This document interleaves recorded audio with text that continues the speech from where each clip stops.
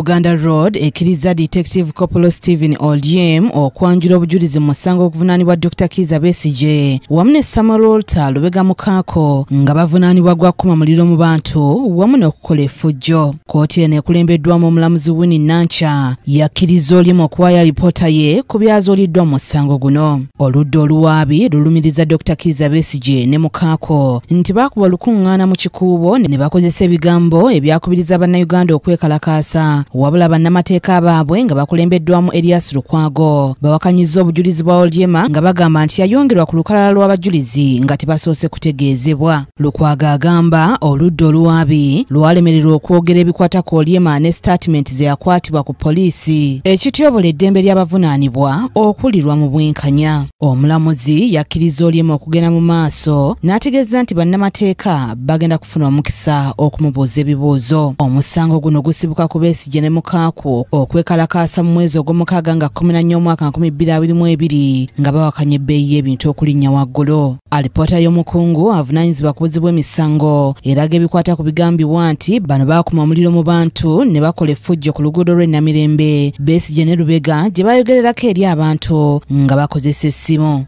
okulira omusango guno kugenda kuddamu nga ttaano omwezi ogwa desemba omwaka guno. Oluvannyuma twogeddeko ne munnamateeka wa besigye erias lukwago n'abaako byalambika. Olinga omulamuzi tugiwa ekitiibwa naye ah, takutte ku kinyusi ky'ensonga ze twawaayo.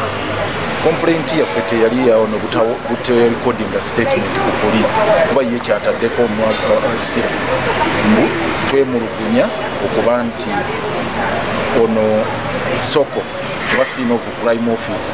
Teyali kodinga statement ku poliisi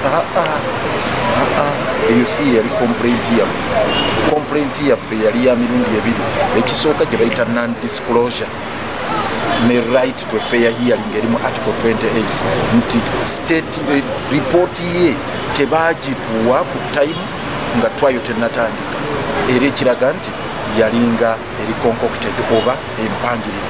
Ekyomulamuzi takizeera ekyokubiri kwe kuba nti ripooti eno yagituulira ebbanga lino lyonna.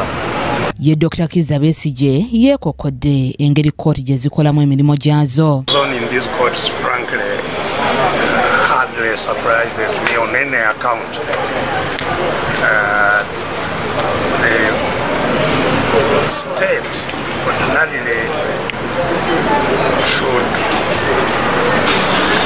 have the facilities to prepare maximally. We facilitate the state. Nobody facilitates me to defend myself. But I pay taxes so that the state can have all the facilities. sewankamba musa yakusakidde eggulire lino ku lwa ktv amalindirire